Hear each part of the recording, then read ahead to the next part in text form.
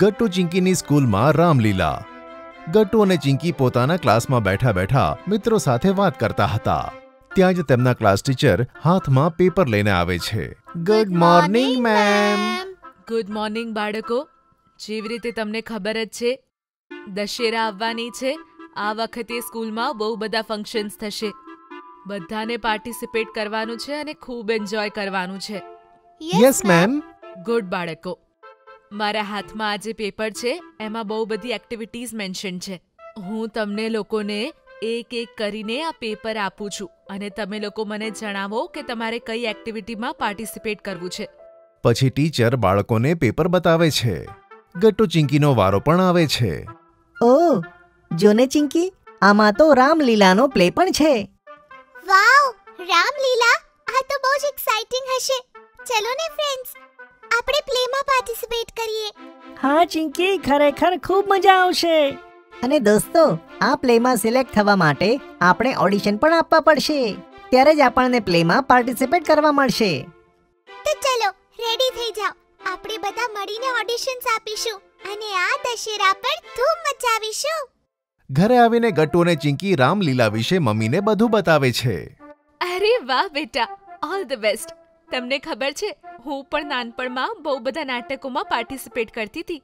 હું મારી સ્કૂલની બેસ્ટ ચાઇલ્ડ એક્ટ્રેસ હતી. વાહ મમ્મી! તો તો અમે બંને ખૂબ જ સારી એક્ટિંગ કરીશું.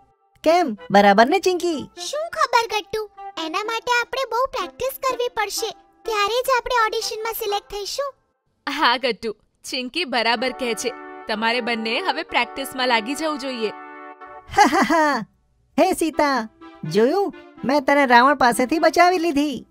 અરે આ કઈ રામલીલા છે ગટ્ટુ? જેમાં તે સૌથી પહેલા સીતા માતાને બચાવી લીધા? અરે સ્ટાર્ટિંગથી સ્ટાર્ટ કરને. મમ્મી ગટ્ટુ અને ચિંકીની પ્રેક્ટિસ જોઈને ધીરેથી હસી લે છે. હવે તમે પણ અમારા મનપસંદ ટોયસ ઓર્ડર કરી શકો છો. www.puntunkids.com થી. Link is in the description બીજા દિવસે બધા બાળકો ડ્રામા ક્લબમાં લાઈન બનાવીને ઊભા છે. ઓ ચિંકી હું તો ખૂબ જ નર્વસ થઈ રહ્યો છું. ક્યાંક હું મારી લાઈન ભૂલી ના જાઉં. અરે ગટ્ટુ રિલેક્સ કર. આટલું ટેન્શન ના લે. બસ એકદમ નેચરલ થઈને એક્ટિંગ કરજે. જેથી એક્ટિંગ એક્ટિંગ જેવી ના લાગે. ઓહો ચિંકી તું તો એકદમ પ્રોફેશનલ એક્ટર જેવી વાત કરે છે.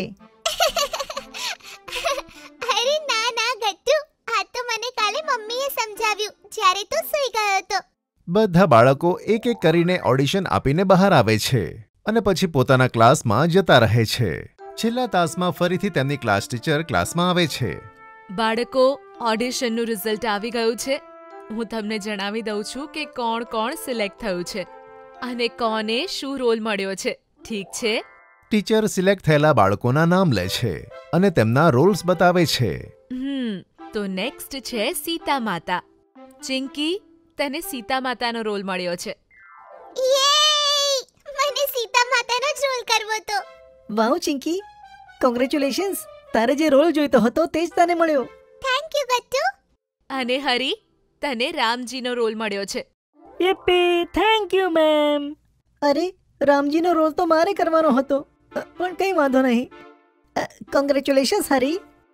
Thank you Gattu અને ગટ્ટુ તને રાવણનો રોલ મળ્યો છે.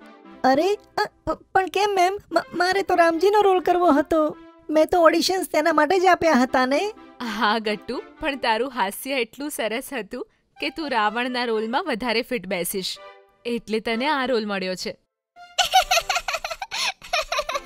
Very good Gattu. તારું હાસ્ય કામમાં આવ્યું.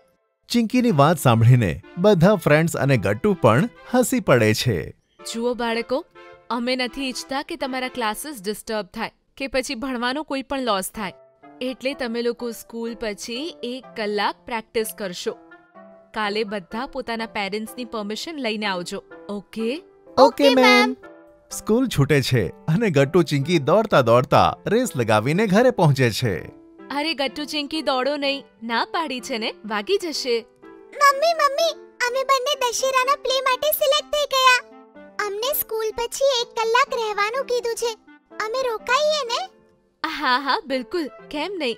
તમને રોલ કયો મળ્યો? મમ્મીની વાત સાંભળીને ચિંકી હસીને ગટ્ટુ તરફ જુએ છે. હા તો એમાં હસવાનું શું છે? હે? મમ્મી એને સીતા માતાનો રોલ મળ્યો છે અને મને રાવણનો. ટીચરને મારું હસવાનું ઓરિજિનલ લાગ્યું. તેથી તેમણે મને અ, રાવણનો રોલ આપ્યો. ઓહો વેરી ગુડ ગટ્ટુ. તને ખબર છે ને રાવણનું કેરેક્ટર પ્લે કરવું એટલું ઈઝી નથી. તારે ખૂબ મહેનત કરવી પડશે. બહુ જ સિરિયસ કેરેક્ટર છે. સરખી રીતે એક્ટિંગ કરજે. હા મમ્મી હું બહુ પ્રેક્ટિસ કરીશ.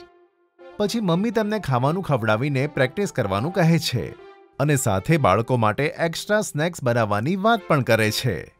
જેથી પ્રેક્ટિસ કર્યા પછી તેઓ પણ ખાઈ શકે અને મિત્રોને પણ ખવડાવી શકે. Okay mummy. બીજા દિવસે ગટ્ટુ અને ચિંકીની પ્લેની પ્રેક્ટિસ શરૂ થઈ. બંને મન લગાવીને રામલીલાની પ્રેક્ટિસ શરૂ કરે છે અને ઘરે મમ્મીને પણ તેઓ પ્રેક્ટિસ કરીને બતાવે છે. પપ્પા પણ બંનેના ખૂબ વખાણ કરતા હતા અને પ્લેનો દિવસ આવી ગયો. ચિંકી જલ્દી કરને. કેટલો ટાઈમ લગાવે છે તૈયાર થવામાં? જો હું ક્યારનો તૈયાર થઈ ગયો છું? હા તો તારે કરવાનું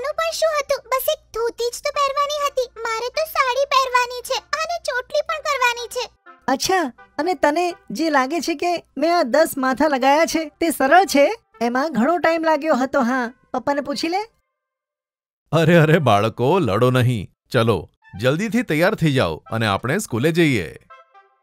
બધા કારમાં બેસીને સ્કૂલે જાય છે. ઓહો ગટ્ટુ તું અત્યારે તારા આ દસ માથા ઉતારી દઈશ? એકચ્યુઅલી આપણી આ કાર ખાલી પાંચ લોકો માટે જ છે ને? મમ્મીની વાત પર બધા હસવા લાગે છે. અરે ગટ્ટુ ચિંકી બંને બહુ જ સરસ લાગો છો. Thank you ma'am hello ma'am hello sir hello hello ચલો બેટા જલ્દી બેક સ્ટેજ જાઓ. પ્રોગ્રામ શરૂ થવાનો છે. હેલો ડિયર પેરેન્ટ્સ તમારા બધાનું સ્વાગત છે. હેપી દશેરા. હવે અમારી સ્કૂલના બાળકો આવશે દશેરાની રામલીલા લઈને. હે સીતા. હું હમણાં જ આવું છું. તું ઝૂંપડીની બહાર ન આવતી. જી સ્વામી. કોઈ છે આ ઘરમાં? ભિક્ષાન દેહી બધા લોકો ગટ્ટુની રાવણની એક્ટિંગથી ખૂબ જ ખુશ થાય છે. આમ જ રામલીલા ચાલે છે અને બધા ધ્યાનથી જુએ છે. રાવણ તે મારી સીતાનું અપહરણ કરીને સારું નથી કર્યું. આલે આની સજા. તો આજ સાથે શ્રી રામજી રાવણનો વધ કરીને માતા સીતાને ઘરે લઈ આવે છે. તમારા બધાનો અહીંયા આવવા માટે ખૂબ ખૂબ ધન્યવાદ. અમારા બાળકોએ ખૂબ જ સરસ રીતે રામલીલા પ્રસ્તુત કરી. એકવાર ફરીથી તેમને આપણે ક્લેપિંગ કરીએ. હવે આપણે બધા સાથે રાવણ દહન કરીને દશેરાની ઉજવણી કરીએ. બધા પેરેન્ટ્સ ટીચર્સ અને બાળકો એકસાથે ઊભા થાય છે. અને હરિ જે રામ બન્યો હતો તે પોતાના ધનુષથી બનાવેલા રાવણના પૂતળા પર તીર ચલાવે છે. રાવણ ભડભડ કરતો બળે છે અને બધા એકબીજાને હેપી દશેરા કહીને વિશ કરે છે. જો તમને અમારી વાર્તા ગમી હોય તો પુન ટુન કિડ્સને લાઈક, શેર અને સબસ્ક્રાઇબ કરજો.